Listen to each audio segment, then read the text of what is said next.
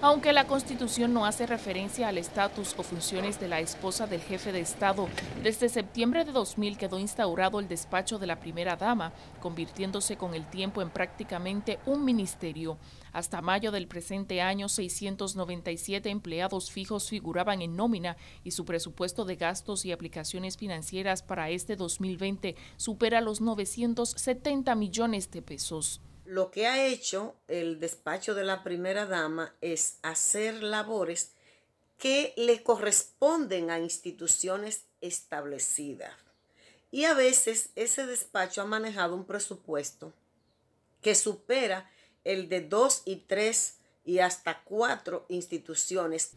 Los salarios de esa oficina van desde 12 mil hasta los más de 200 mil pesos adscrita a la Presidencia de la República, esta instancia técnico-administrativa tiene como dependencia el Centro de Atención Integral para la Discapacidad, fundado en 2013 y con presencia en distintas demarcaciones.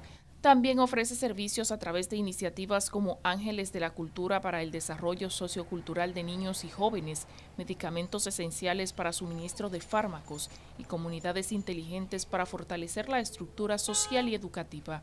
En el decreto 741-00 emitido por el expresidente Hipólito Mejía, indica que la creación del órgano se daba considerando el papel protocolar de la primera dama desde la década de los 80.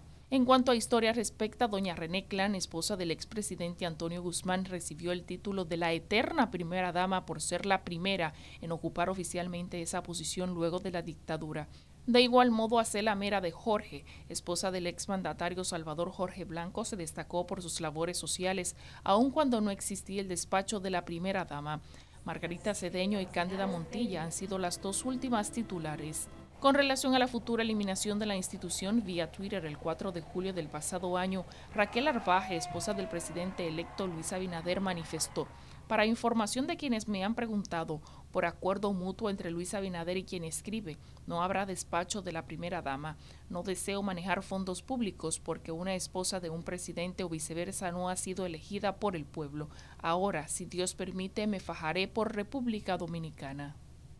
De acuerdo al perfil de la entidad, su rol incluye la presencia activa en el Foro de las Primeras Damas de las Américas, un espacio creado por las esposas de jefes de Estado. Sara Vallejo, Noticias SIN.